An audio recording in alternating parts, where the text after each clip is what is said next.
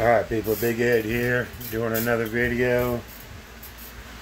Well, last video I told y'all I was getting ready to wrap up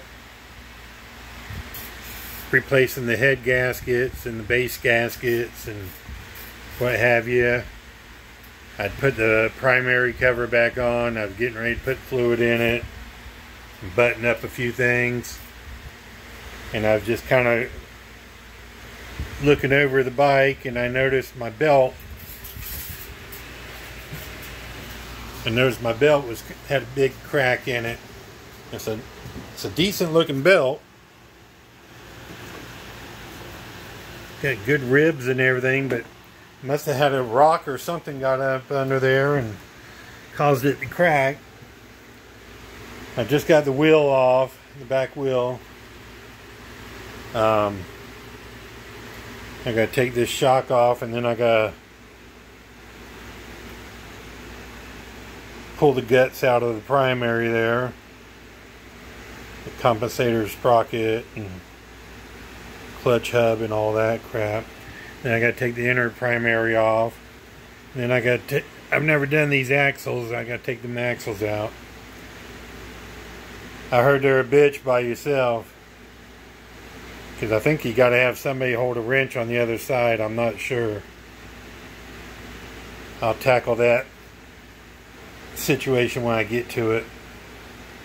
But next I'll be, so I got the wheel off. I got to undo that shock. I'm just going to undo the bottom of it and flip it up. And then I'll be taking this stuff off right here. Um, for the wheel, the rear wheel uh, removal, there's a guy named He's got a channel called Two Wheel Rocco. You might want to check him out. But I, I got I picked up a tip from him. When you're doing it by yourself, I put the wheel jack, I mean the floor jack, I put it underneath the wheel and just jack it up enough to where it, it doesn't try to drop on you and then I slid my axle out. I did have to remove this cover right here and undo that bolt and see this bolt right here. And then I loosened up these two right here because the bolt the axle would not come out because I had to lift this up to get the bolt to come out. It was it was hitting right here. So I loosened loosened up these two bolts right here, or actually took them out. So right there, and right there, and then right there, and right there. And then all I did was, uh, once I get the axle out, oh, I kept my bike strapped down too. But, um, then I just lowered the jack. I lowered the jack and then I uh,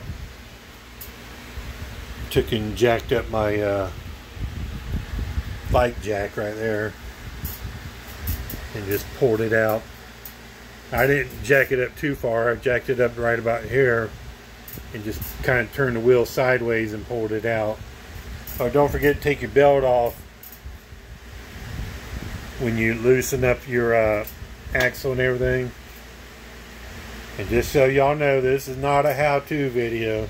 It's how I was doing it. Like I said, the two, the guy, uh, two-wheel Rocco, he's got a lot better quality video than I do. I'm just an old old timer that don't know how to do shit. But uh, if any of this helped y'all, you're welcome. If it didn't help you, you're still welcome. Anyways, don't forget to like and subscribe to my channel. Peace out.